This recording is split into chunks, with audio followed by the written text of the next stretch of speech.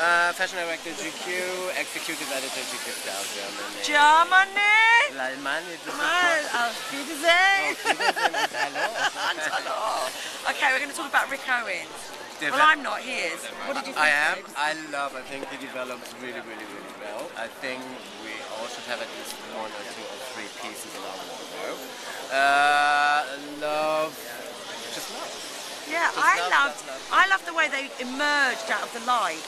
That Totally. moment where they emerged out of the light, out of the shadows into the light. Right, I again. quite I loved that. And then it was "Don't You Want My Love?" I know, I quite so liked the it. track was like, Yeah, oh, how was we were pumping up. It woke us up. It woke us up for sure. It It woke us up. It woke our wardrobe up.